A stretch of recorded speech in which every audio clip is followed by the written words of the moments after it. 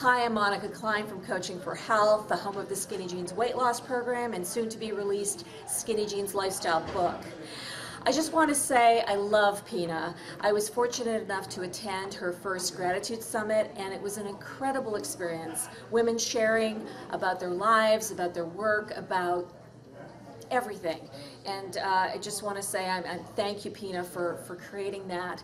Today, I was fortunate again to share um, Pina's talk at the Calabasas Chamber, and it was Pina had us working, getting to know who we are, how we communicate, uh, whether we're auditory, visual, kinesthetic, or auditory digital, and I am apparently I'm kinesthetic and visual. So it's great. These tools are great to help us in our work, in our business, and in our lives. So thank you, Pina.